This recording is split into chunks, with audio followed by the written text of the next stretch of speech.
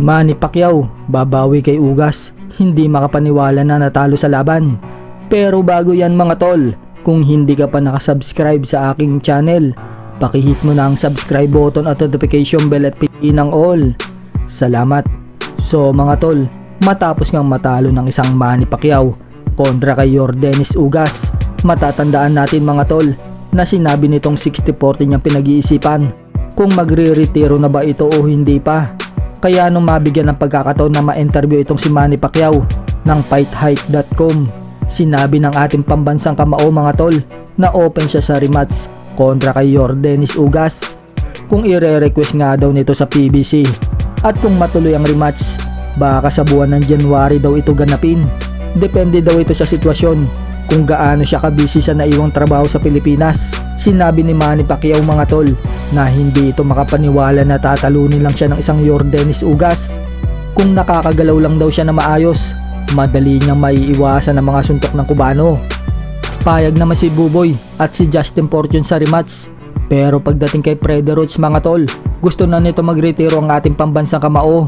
Pero na kay Manny Pacquiao pa din daw ang desisyon kung magpapatuloy pa ito sa pagbaboxing. Pero mga tol, may napansin lang ako dito sa PBC o Premier Boxing Champions dahil nagpost ito sa FB ng letrato ni Jordanis Ugas at ni Errol Spence Jr. na sinusubukang ipromote ang laban kinukuha ang atensyon ng mga tao kung tatangkilikin ba ang unification bout sa pagitan ng dalawa. Dahil kung papatok ito mga tol, maaaring gawin ng PBC ang unification bout sa pagitan ng dalawang fighter. Pero malalaman natin ito mga tol kung ano ang magiging desisyon ni Manny Pacquiao sa mga susunod na buwan. Kung makikipag-rematch pa ba ito kay Ugas o tuluyan na magre-retiro sa boxing. Ang naging problema lang naman kasi dito kay Manny Pacquiao mga tol ay ang legs niya na umatake ang paninigas.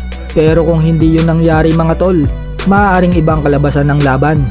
Kaya sa tingin ko, hindi rin basta-basta papayag ang isang Manny Pacquiao na magretiro ng talo sa huling laban.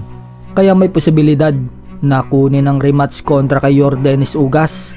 Para kung magretiro ang isang Manny Pacquiao, ay magandang pagtatapos sa kanyang karera sa boxing. Kaya ano sa tingin nyo mga tol? Makikipag-rematch nga ba si Manny Pacquiao o tuluyan na magre-retiro sa boxing? Comment nyo lang mga opinion nyo para mabasa natin yan. Hanggang dito na lang mga tol at muli kung hindi ka pa nakasubscribe sa aking channel, pakihit mo na ang subscribe button at notification bell at piliin ang all. Salamat!